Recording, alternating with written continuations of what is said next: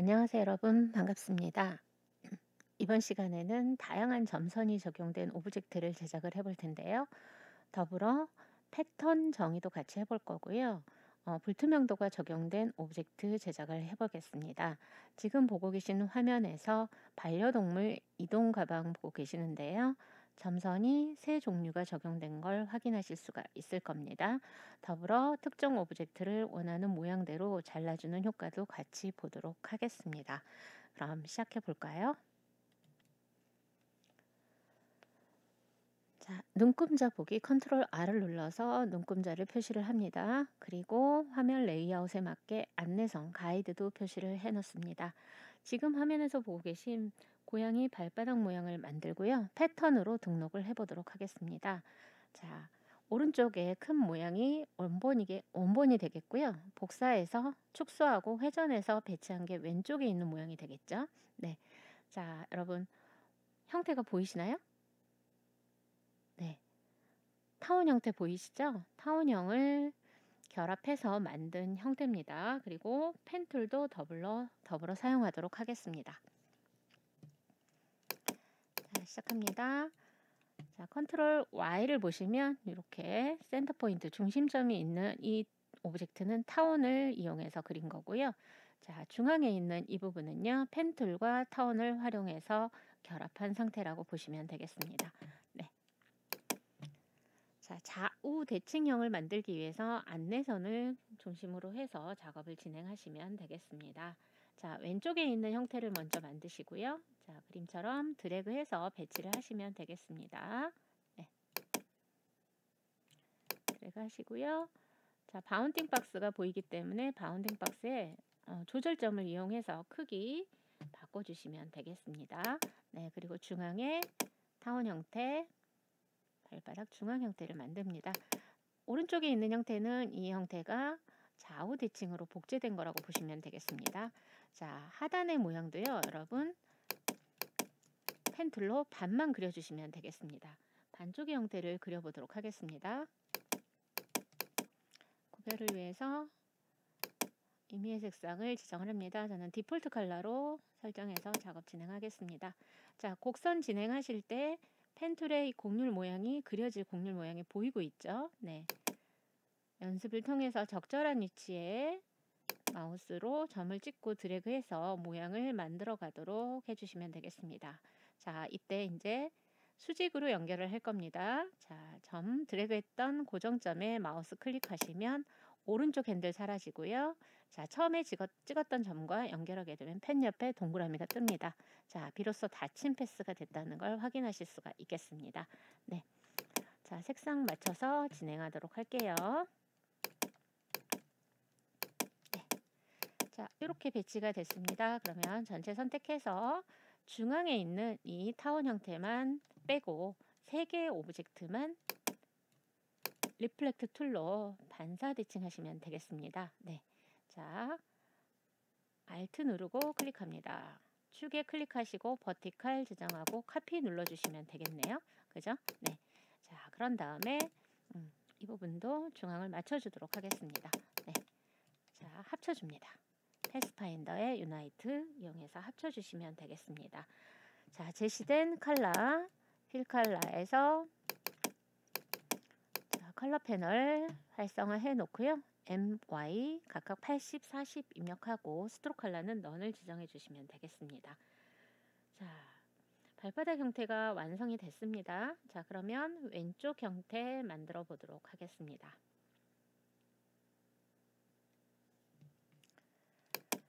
따로 떨어, 떨어져 있는 오브젝트이기 때문에 한꺼번에 선택해요. 컨트롤 A 누르시고 컨트롤 G로 그룹으로 설정을 하겠습니다. 자, 그룹 설정하게 되면 선택하기가 훨씬 수월해지는 장점이 있죠. 네. 자, 그룹으로 설정된 발바닥 오브젝트를 선택합니다. 이제 크기를 줄이고 회전해서 배치하도록 하겠습니다. scale tool을 더블 클릭하겠습니다. 유니폼 종횡비에 맞게 조정해주는 기능입니다. 60% 지정하시고 copy를 눌러줍니다. 자, 그 다음에 rotate tool을 선택합니다. 더블 클릭해서 45도 설정하겠습니다. OK를 눌러줍니다. 자, 그런 다음 이동해서 배치하시고요. 네. 자, 색상을 지정하시면 되겠습니다. 아, 자, 이때 여러분 이렇게 라인이 들어가 있는 부분들이 있죠. 이 부분들은 어때요? 어, 정확하게 어, 매칭이 안 돼서 그래요. 겹치지 않아서 그렇습니다. 이런 부분들은요. direct selection tool 사용해서 이 부분에 average, both 지정하셔서 이렇게 합쳐주시면 되겠습니다. 네, 컨트롤 Y 해서 다시 average both. 네. 자, 컨트롤 Y 하면 티가 안 나고 있죠? 그죠? 네. 자, 간혹 이렇게 어, 정확하게 겹치지 않았을 때 unite를 하게 되면 이렇게 됩니다. 병합을 해줬을 때 이런 오브젝트가 만들어질 수가 있어요. 이럴 때는 이렇게 average에 both 클릭해서 선택된 점들이 평균 지점에서 한 지점에서 만나도록 설정을 해주시면 되겠습니다. 네, 자, 이 부분도 average both 지정하시면 컨트롤 Y 했을 땐 이렇게 벌어진 틈이 안 보이겠죠. 그래서 충분히 겹쳐지도록 그리는 게 우선이지만 뭐 그렇지 않다 하더라도 나중에라도 수정할 수 있는 어, 명령어들은 있다라는 거 알아두시면 되겠습니다. 네. 자, 이렇게 해서 배치를 했습니다.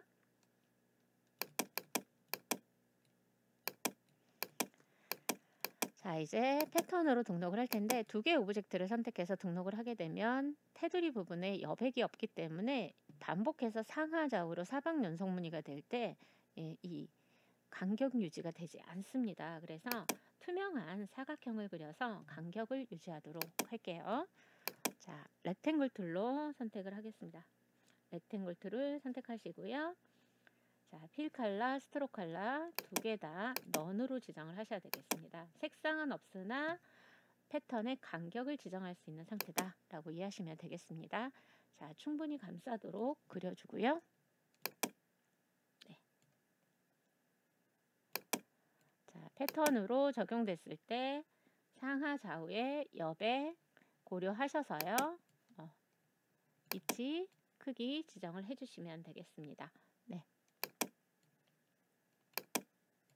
네.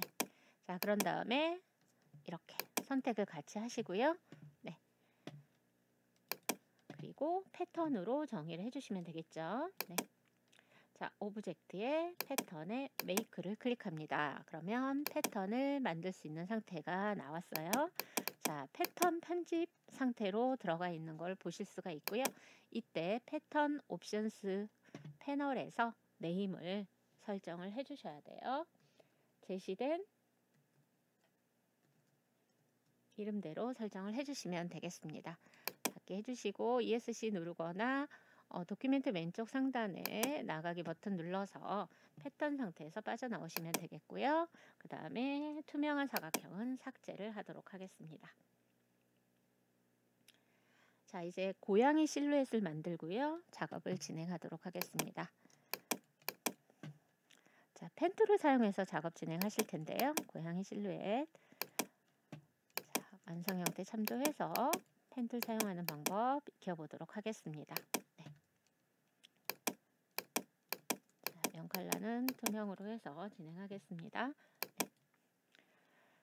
자, 형태를 그릴 때 자, 펜툴 사용해서 첫 번째 모양 그릴 점을 찍어줍니다. 네, 클릭하고 직선일 땐 클릭하시면 되겠고요. 곡선일 땐 드래그 하시고요.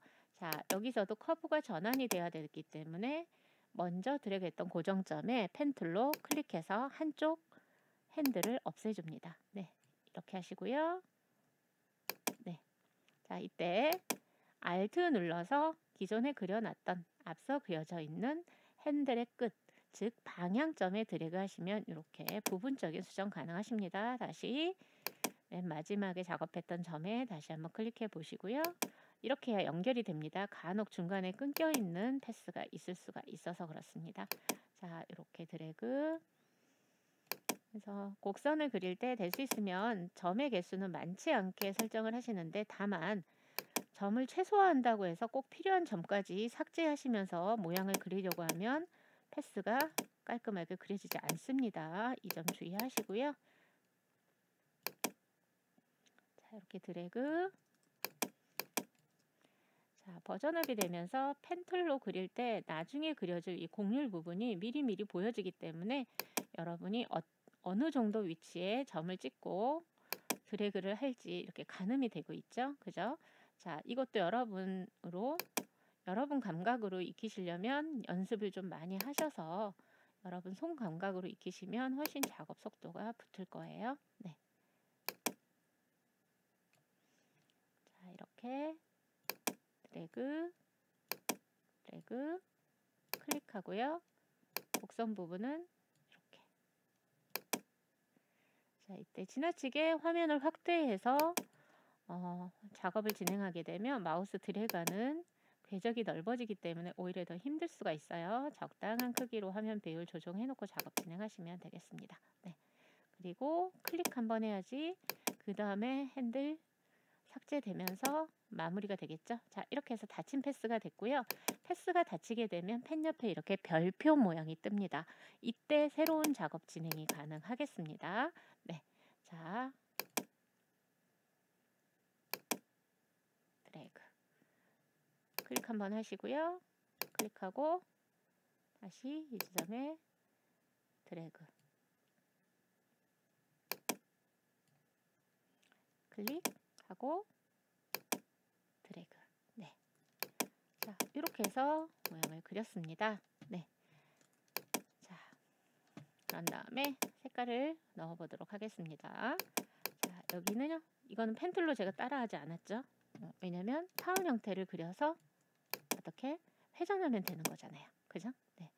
타원을 그렸어요. 그리고 Bounding Box 바깥쪽에 마우스 배치하시고요.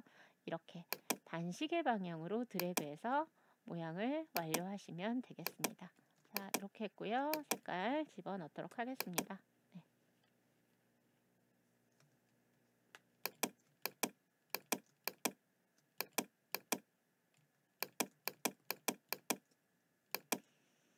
네.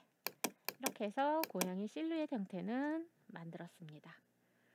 자, 이따 이동장 어, 오른쪽에 이제 자르기 기능을 활용해서 어, 배치를 하겠습니다. 네, 이제 반려동물 어, 이동 가방 만들도록 하겠습니다. 네. 자, 색깔별로 나눠져 있습니다. 그래서 자 보시면 왼쪽, 그 다음에 오른쪽 패턴이 적용되어 있는 부분이 있고요. 그 다음에 내부 공간 출입구 부분을 또 이렇게 만들어 놨습니다. 그리고 윗부분, 손잡이 부분이 있는 거 확인되시죠? 네. 자, 그래서 자, 이 부분도 Pen Tool을 활용해서 작업을 진행하시면 되겠습니다. 네. 자, 오른쪽 형태 드래그 하시고 드래그 하시고요. 곡선 형태 되도록 자, 드래그 쭉쭉 연결해서 드래그 해주시면 되겠고요. 앞에 모양이 뭐 가려지기 때문에 여러분 이 부분은요 뭐 교재처럼 좀 깔끔하게 보이도록 제가 배치는 해놨지만 이 부분은요 여러분 어, 뒷부분에 있는 거니까 뭐 이렇게 통과시켜서 작업을 하셔도 되겠어요. 네. 조금 다듬어지게 작업 진행하겠습니다. 네.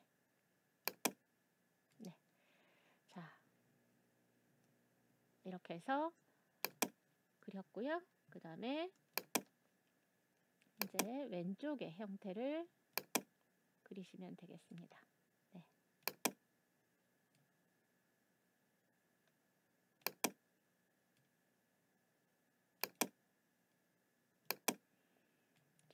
이렇게 윤곽 부분이 서로 맞닿는 지점을 앞쪽에 있는 오브젝트를 더 어, 정교하게 그려주시면 되겠습니다. 네. 틈이 벌어지는 부분은요. 음, 나중에 수정하시면 되겠죠. 네. 자, 여기서 뒤쪽에 있는 부분이니까요. 뭐 이런 식으로 해서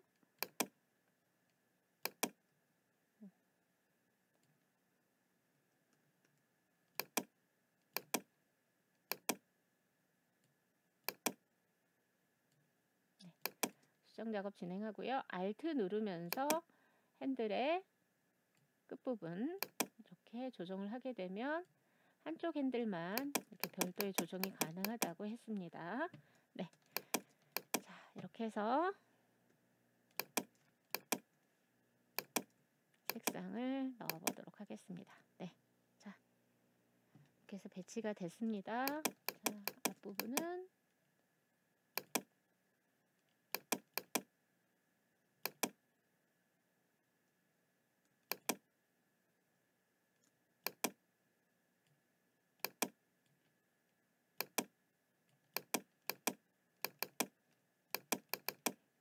더블 클릭해서 어, 그룹이 아니더라도 여러분 Selection Tool로 더블 클릭하시게 되면 이렇게 격리 모드로 들어가기 때문에 다른 object에 방해 없이 작업 진행이 가능하겠습니다. 자, 저장을 합니다.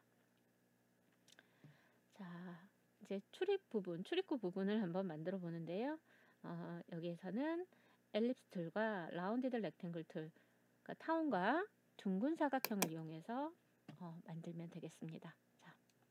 자, Ellipse Tool을 선택합니다. 자, 툴도요. 이렇게 떼어내기 기능이 가능하기 때문에 자주 사용하는 도구는 이렇게 떼어내서 도큐멘트 상에 배치해 놓고 사용을 하셔도 되겠습니다. 자, 엘립스 툴 선택합니다. 그리고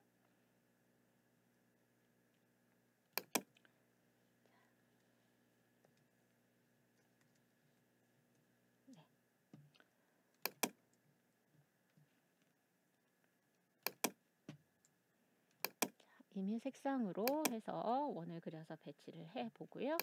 그 다음에 여기에 Rounded Rectangle Tool을 그려서 배치하도록 하겠습니다.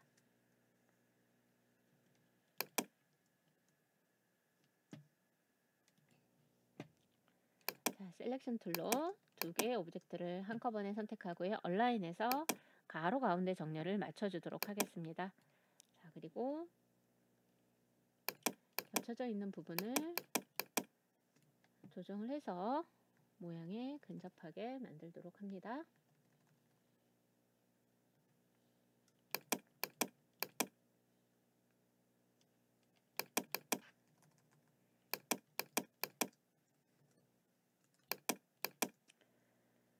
네, 두 개의 object를 선택해서 Align에서 정렬을 해줬죠. 그런 다음 Pathfinder에서 합치기를 해주겠습니다. 자, 합쳐놓은 상태이긴 하지만 어때요? 기울이기가 다른 관계로 좀 어색해 보이죠? 그죠? 네, 그래서 이 이 동장의 기울이기랑 비슷하게 맞춰주겠습니다. 자, 기울이기 전문 도구가 있습니다. 자, Scale Tool을 꾹 눌러보시면 여기에 Shear Tool이라고 있습니다. Shear. 네, 이 tool을 사용해서 저희가 기울이기 해보도록 하겠습니다. 근래에는 이 기울이기를 사용해서 어, object도 기울여주고요. 입체감 있는 형태의 object 제작하는 것들이 종종 많이 나오고 있는 것 같아요. 글자도 마찬가지입니다. 네. 자, 더블 클릭하겠습니다. 자, 미리 보기 Preview 체크되어 있을 때 Angle을 조정해 봅니다. 네. 자, 그랬더니 너무 어색하죠. 이거는 축 때문에 그렇습니다. 자, 엑시스 버티칼로 지정을 하시면 되겠습니다. 미리 보기 체크하고 지정을 하시고요. 저는 예제 만들면서 미리 계산을 해서 작업을 했기 때문에 여기에 각도가 나오는 거고요. 그렇지 않을 땐 여러분은 어떻게 하시냐면 이 미리 보기 되어 있는 상태에서 이렇게 회전을 해 가면서 축도 바꿔 보면서 어, 알맞은 상태를 찾아주시면 되겠습니다. 네, 오케이를 합니다. 위치를 좀 맞춰주시고요. 그 다음에 어, 색상을 넣도록 하겠습니다. 자, 컬러는요. CMY 각각 30, 20, 10을 입력해서 엔터를 누르시면 되겠네요. 네.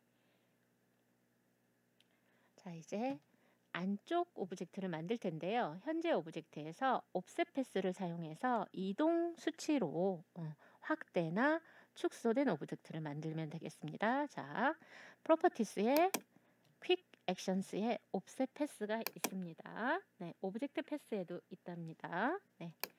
자, 1, 마이너스 1.5를 입력을 하겠습니다. 네. 네. 자, 미리 보기 되어 있기 때문에 마이너스 값일 땐 안쪽으로 이동돼서 축소된 복제본이 나옵니다. 자, OK 눌러줍니다. 자, object 하나 더 만들어져 있는 거 확인되실 거고요. 여기에 제시된 Fill Color CMYK 각각 40, 70, 150%를 입력을 해주고 Stroke Color는 None을 지정을 해주겠습니다. 네, 자 이렇게 됐고요. 이제 상단에 어, 손잡이가 있는 부분에 object를 하나 또 만들어줘야죠. 그죠? 네. 자, 펜툴을 사용해서 진행하겠습니다. 자, 겹쳐지는 부분은 나중에 뒤로 보내기 하면 되니까요. 어, 충분히 겹쳐지게끔 진행하셔도 되겠습니다. 네. 자, 클릭하고요. 클릭하고요. 표면으로 나오는 부분만 조금 더 신경을 써주시면 되겠고요. 자, 클릭해서 한쪽 핸들을 없애 주셔야지만 어, 진행 방향으로 path 작업이 수월하게 되겠습니다. 약간 곡선으로 진행을 해볼까요? 네. 자, 이렇게 했어요.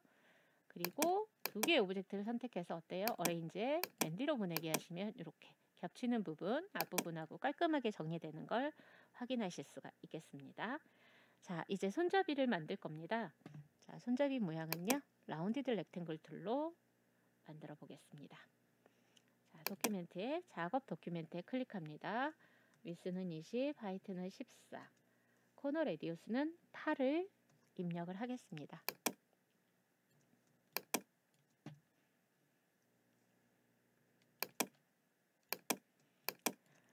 Fill Color는 None을 해주시고요. Stroke Color는 K100을 지정하도록 하겠습니다. 자, 그리고 Stroke 패널에서 Stroke의 두께를요. 10포인트를 음, 설정을 할 겁니다. 자, 그리고 이 부분도요. 하단에 어, 고정점을 삭제해서 열려 있는 path 상태로 만들 거예요. 끝부분이 둥그렇게 보이게 하기 위해서 Round Cap을 지정하겠습니다. Round Cap은 Weight 10포인트의 절반 5포인트만큼 고정점에서 밖으로 둥그렇게 튀어나오는 끝부분을 말합니다. 열린 패스의 끝, 끝 단면을 표현하는 방법입니다. 네. 자, 일단 지정을 해주시고요. 자, 이것도 기울기를 맞춰줘야 되겠죠. 기울이기는 Shear Tool을 사용합니다. 더블 클릭합니다. 자, 미리 보기 체크되어 있을 때, 자, 마이너스 15도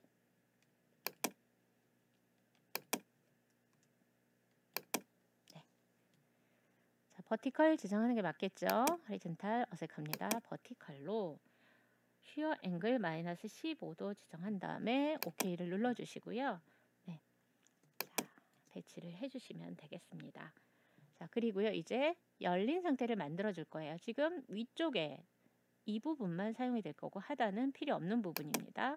자, 고정점이 마침 있습니다. 자, 고정점 Anchor Point를 Direct Selection Tool로 선택하시고요. Shift 눌러서 이쪽도 선택을 합니다. 네, 다중 선택이 가능했고요. Delete 한 번만 눌러주겠습니다. 자, 그랬더니 이렇게 손잡이 모양의 object가 만들어졌네요. 네. 자, 끝부분은요. 좀 전에 Stroke에서 Cap을, Round Cap을 지정했기 때문에 이렇게 둥근 형태가 됐습니다. 네. 자, 선택 도구로 저장하면서 진행하겠습니다. 네. 자, 위치를 맞춰 주시고요. 네. 자, 이제 패턴을 먼저 적용한 후에 나머지 작업 진행할게요. 자, 패턴은요. 자, 오른쪽 object에 적용이 될 텐데요. 자, 대부분 패턴의 배경을 투명한 사각형으로 아까 표시를 어, 설정을 해가지고 저희가 패턴 만들기를 했잖아요. 그 경우에는 배경에 object가 하나 더 있고요. 이것을 카피해서 제자리에 붙여넣기 그러니까 선택된 object 앞에 붙여넣는 기능 자 외우십시오. Control C Control F. 네. 복사해서 복사한 object 앞에 붙여넣기라는 방법을 쓰시면 되겠습니다. 네. 자 Control C 했어요. Control F 했어요. 앞에 붙여넣기 했기 때문에 뭐 Arrange도 망가지지 않고 그대로 보존이 되어 있는 상태입니다.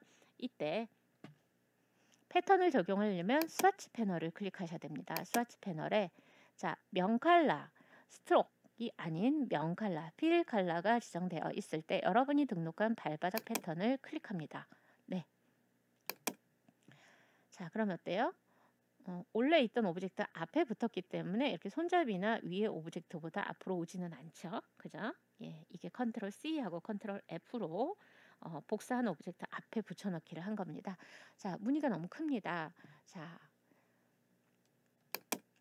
크기를 조정하겠습니다. 크기 하면 Scale Tool을 선택하시면 되겠습니다. 더블 클릭합니다. 자, 40%로 줄일 거예요.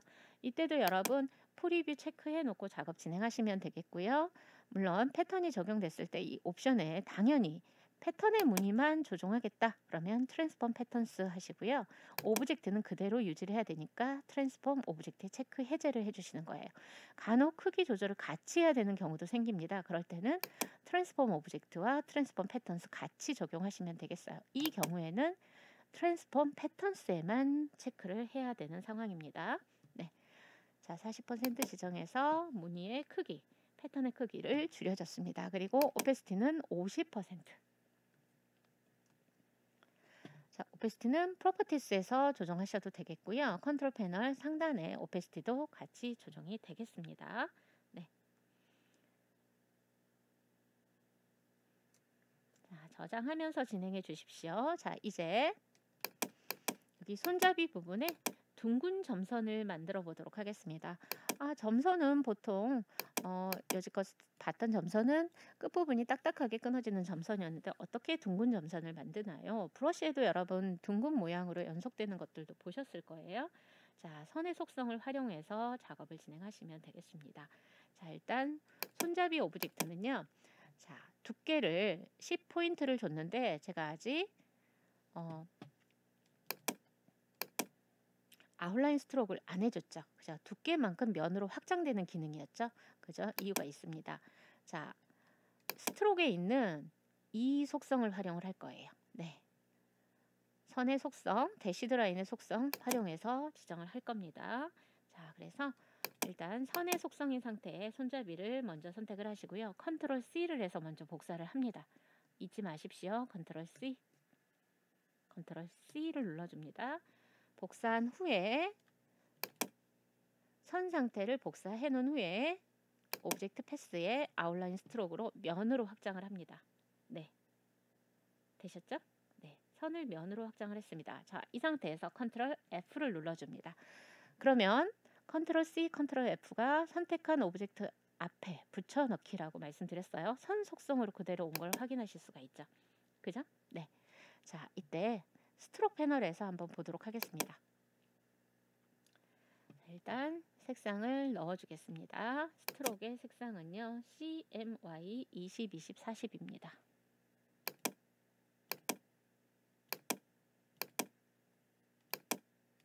네. 자, 두께가 똑같기 때문에 지금 이렇게 가려지는 상태가 될 겁니다. 자, stroke에서요. stroke 패널에서 선의 두께를 3pt로 조정을 하겠습니다. 어떠세요? 선 모양 보입니까? 네. 자, 이렇게 했고요. cap은 round cap 지정되어 있는 거 확인되실 거고요. dashed line에 체크를 해보겠습니다. 자, dashed line에 체크를 하면 점선이 나오는데요. 어, 여기에서 보통 우리가 대시 먼저 입력하고 갭 입력하고 이런 식으로 작업을 진행했던 걸 기억하실 거예요. 일반적으로는 이렇게 나올 겁니다. 자, 그런데 대시가 0이고요. 갭을 4로 지정을 하겠습니다. 뒷부분은 그냥 탭탭 눌러서 아무것도 입력 안 된 상태로 해주시면 돼요. 어떠세요? 네. 대시와 갭이 바뀌면 이렇게 나옵니다. 물론 선의 두께와 이 갭의 두께 간의 관계도 있을 거고요. 캡의 모양도 라운드 캡으로 해야지만 이 형태가 나옵니다. 네. 되셨나요?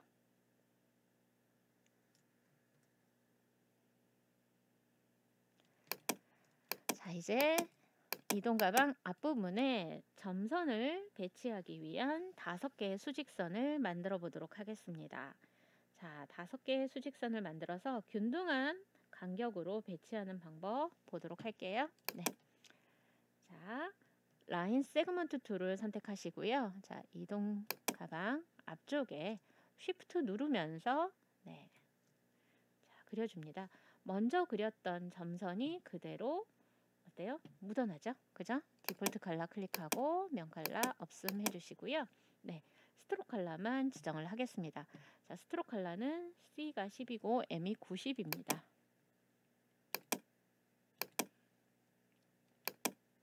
네. 자, 그리고 stroke의 두께는요. 2포인트를 설정을 해줄 거고요.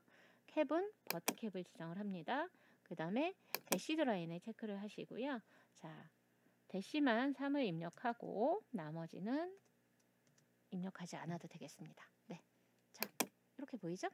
네. 자, 이제 길이에 맞게 나머지도 그려 넣겠습니다. 네. 쉬프트 누르면서 드래그 하시면 됩니다. 네. 자, 또 드래그 해주시고 총 다섯 개의 수직선이 배치가 되도록 해주시면 되겠습니다. 네. 되셨습니까? 네. 자, 선택 도구로 쉬프트를 누르면서 자, 규칙적인 점선이 적용된 자, 수직선 다섯 개를 한꺼번에 선택을 합니다. 되셨죠? 네. 자, align에 보면은요. 옵션을 확장해서 보겠습니다. 온라인은 줄을 맞춰주는 거죠. 주로. 네. 그런데 선택된 object들 간의 간격을 배분해 주는 게 바로 distribute라고 하는 겁니다. distribute objects는 3개 이상의 object가 선택됐을 때 활성이 되는 명령어다라고 이해하시면 되겠습니다. 자, 여기에서 자, horizontal distribute center를 클릭해서 중앙에 있는 object를 기준으로 해서 좌우 균등 간격으로 배치를 해주겠습니다. 어때요? 이렇게 맞게 나왔죠. 네, 물론 여러분이 선택해서 어때요? Alt 누르고 드래그해서 control D를 이용해서 균등 간격으로 복사하는 방법도 보셨어요. 다만 여기에선 이동 가방, 이동전 가방 앞쪽이 어때요? 이렇게 둥그런 형태이기 때문에 선의 길이가 각각 다르죠. 그래서 선을 어, 일일이 어, 이 line segment tool로 그려줬던 겁니다. 네, 아시겠죠? 네, 선의 길이감은요. 이렇게 선택하셔서요. 좀 튀어나온 부분이 거슬린다 그러면 조금씩 정리를 해주시면 되겠습니다. 이런 부분들은요. 네. 자, 이렇게 정리를 좀 해주시고 저장을 하겠습니다. 자, 그러면 앞에 이렇게 이 대시 드라인이 앞쪽에 있으면 안 되겠죠? 네, 그래서 앞에 입구에 해당되는 이 부분 있죠? 자, 이 부분을 선택해서 맨 앞으로 가져오게 하시면 되겠습니다. 프린트 프런트. 네. 되셨죠? 물론 선들이 선택되어 있을 때 단계적으로 뒤로 보내기를 하셔도 돼요. 네. 자, 이제 고양이 실루엣을 사용해서 어, 이동 가방 모양과 맞게 어, 자르는 방법을 보도록 하겠습니다. 마치 clipping mask와 같은 기능이라고 보시면 되겠습니다. 자, 저장해 주시고요. 네. 자, 고양이의 실루엣만 선택을 합니다. 그런 다음 control C 하고요. control V로 붙여넣기를 하겠습니다. 자, 그런 다음 크기 조정하겠습니다. uniform scale tool 더블 클릭해서 유니폼 130%를 지정을 합니다. 자, 이때 여러분 미리 보기 통해서 object가 커졌나 확인을 해주시고요. 특별히 패턴이 지정, 되어 있지 않았을 때는 여러분이 object, transform objects 하게 되면 체크되어 있는 상태면 이렇게 크기가 같이 조정되는 걸 확인하실 수가 있습니다. 네. 자, 오케이를 하겠습니다. 그리고 뒤집어 줍니다. 무엇으로요? reflect tool로요. 네. 자, reflect vertical로 자, 뒤집힌 상태를 만들어 주시면 되겠습니다. 네. 자, 조금 떨어뜨려서 제작을 해 볼게요. 네. 저장합니다. 자, 여기서도 균등 간격으로 이동해서 복제하는 방법을 쓰겠습니다. 네. scale로는 해결되지 않습니다. 네, offset path 사용하시는 거예요. 자, 1mm를 입력해서 확대된 복사본을 만들고요. 자, 여기에 fill color 흰색을 지정을 하겠습니다. 다시 한번 다시 한번 object path에 옵셋 패스를 적용합니다. 자, 이번에는 1.3 네, 조금 더 확장된 모양으로 만들고요. 자, 여기에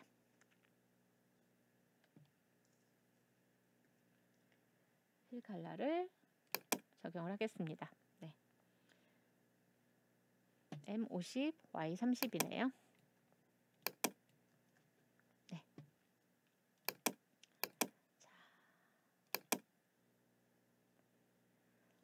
처음에 원본 실루엣이 M20, Y10으로 설정을 해야 되고요.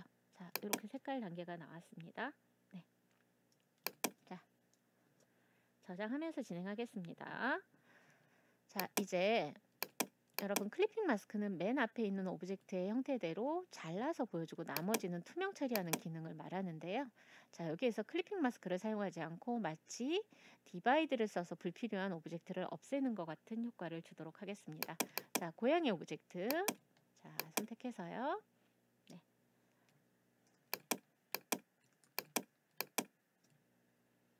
자 배치하도록 합니다.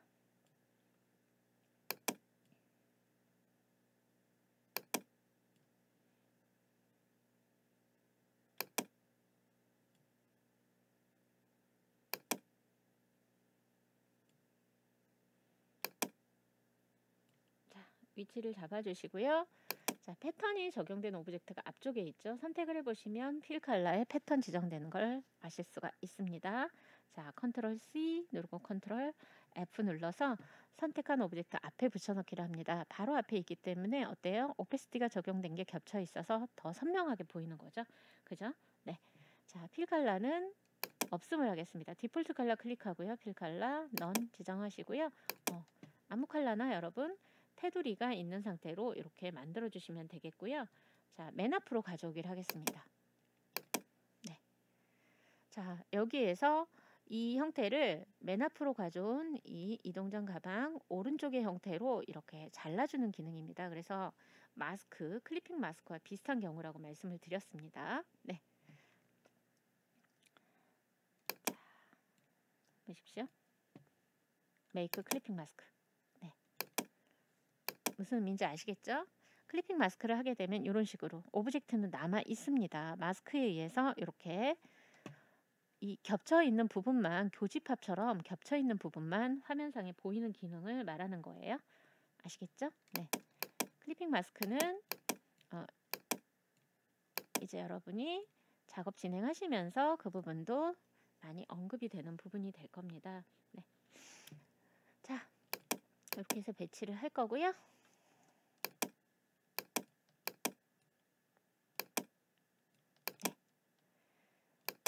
실루엣들과 이동전 가방 모양을 선택합니다. 이때 자, 맨 앞쪽에 이 형태가 있어줘야 된다는 거 잊지 마시고요.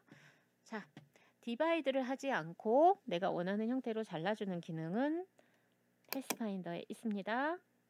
자, pathfinder 옵션 보기 하시고요. 두 번째 줄 pathfinders에 보시면 하나, 둘, 셋, 넷 crop이 있습니다. crop 자르기죠? 클릭합니다.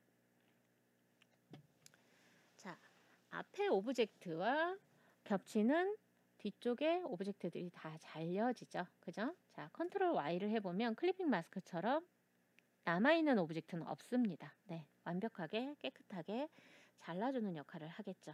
자, crop은 이런 용도로 씁니다. 자르고자 하는 형태, 교집합으로 활용할 형태를 맨 앞쪽에다가 배치를 해주시고요. 어, 선만 활용해서 면 칼라 없는 상태로 진행을 했습니다. 네, 자 이제 고양이 형태, 잘려져 있는 고양이 형태 더블 클릭해서 실루엣 모양을 더블 클릭하겠습니다. 자, 격리 모드로 들어온 거 확인되시죠? 네, 가장 작은 안쪽 실루엣을 선택하고 컨트롤 C, 컨트롤 F로 선택한 object, 복사한 object 앞에 붙여넣기를 하겠습니다. 자, 그런 다음 fill color는 none으로 하고요. 어, stroke color는 M80을 지정하겠습니다. M80을 설정을 했습니다. 자, 그런 다음 stroke 패널에서 stroke 패널에서 stroke의 두께는요. 1포인트를 지정을 하시면 되겠고요. dashed line에 체크를 합니다. 자, 그런 다음에 여기에 dash는 8, gap은 3, 또 대시 2, 다시 갭 3. 네, 이렇게 해서 불규칙적인 점선을 그려 배치를 합니다. 네, 되셨죠? 네. 자, 아까 면 컬러만 있을 때는 깔끔하게 보였는데 지금 어때요? 이 테두리에 stroke color 지정하고 dashed line 설정했더니 어때요? 이 부분까지도 점선이 적용된 걸 확인하실 수가 있죠. 자, 이때 이 부분을 없애주면 돼요. 어떻게 없애나요? 열린 패스로 만들면 되겠죠. 네, 이 작업들은 하셨으니까 가늠이 되실 거예요. direct selection tool로 내가 원하는 고정점을 선택합니다. 마침 여기 고정점 있습니다. 클릭해 주시고 delete 한 번만 눌러주세요. 두 번 누르게 되면 전체가 삭제됩니다. 이 점 주의해 주시면 되겠습니다. 네. 자, 점이 하나가 있어서 그렇고요. 만약에 점이 여러 개다 그러면 그 점과 점 사이에 segment, segment는 점과 점 사이를 잇는 짧은 선을 말합니다. 선분. 이 부분을 클릭해서 선택하고 delete 하시면 되겠습니다. 네. 자, 이렇게 해서 테두리 부분의 점선을 정리를 했고 ESC를 눌러서 정상 모드로 전환을 하시면 되겠습니다. 이제 여기에 Pink Cat이라는 글자를 입력해서 이동 가방과 기울이기가 같게 조정을 해서 배치하도록 하겠습니다. 자, type tool로 작업 document를 클릭합니다. 자, 완성형 텍스트 나와 있을 때 control T를 눌러서 캐릭터 패널을 꺼냅니다. 그리고 영문은요. Arial체나 Times New Roman이 나옵니다. AR 입력했더니 자, 이 철자로 시작되는 폰트들을 검색을 해줍니다. Arial Bold 클릭하고 네, 엔터 눌러주시면 되겠습니다. 그리고 글자 크기는 9포인트를 지정을 하십시오. 그리고 어, 색상은요. 면 색상 MY 90 20 하시면 되겠습니다. 한 다음에 핑크캣을 입력합니다.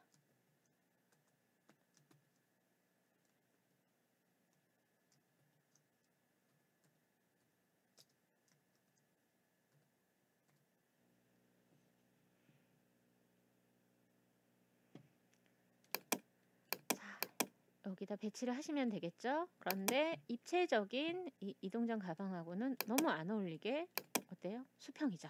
그죠? 자, 그래서 Shear Tool을 활용하는 겁니다. 네, Shear 사용하겠습니다. 어디 있습니까? Scale Tool과 같이 있어요. 자, 이것도요, 여러분 자주 사용하는 변형 도구 이렇게 꺼내놓고 작업하셔도 돼요. 네, Shear Tool을 더블 클릭합니다. 네, 프리뷰 체크되어 있을 때 여러분 기울이기 상태 한번 조정을 해볼 거예요.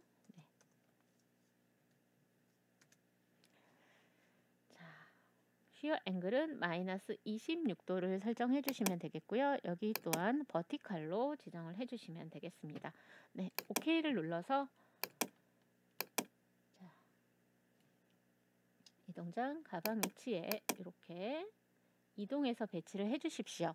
자, 이때 여러분 control T를 다시 한번 눌러 보겠습니다. 캐릭터 패널도요. 이 패널의 제목을 더블 클릭하게 되면 이렇게 3단으로 완전 접혔다, 중간만 펴졌다, 완전히 펼쳐졌다가 가능합니다. 자, 주의할 거 있습니다.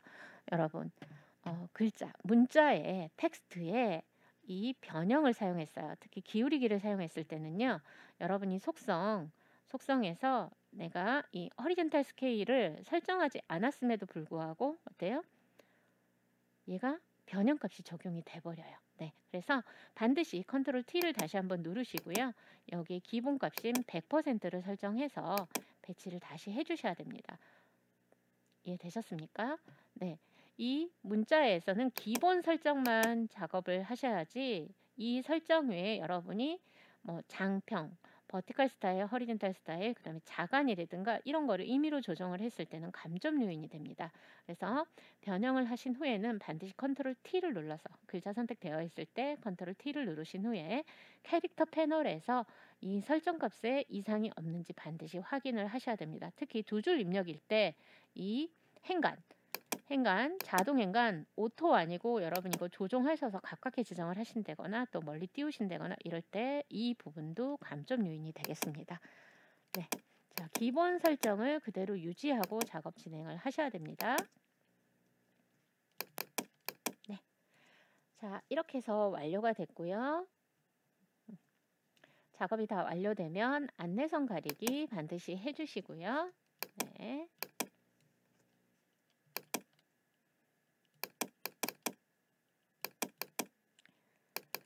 Hand Tool 더블 클릭해서 이렇게 작업창에 가득 채우게 설정해 놓으신 후에 저장 최종적으로 하시면 되겠습니다.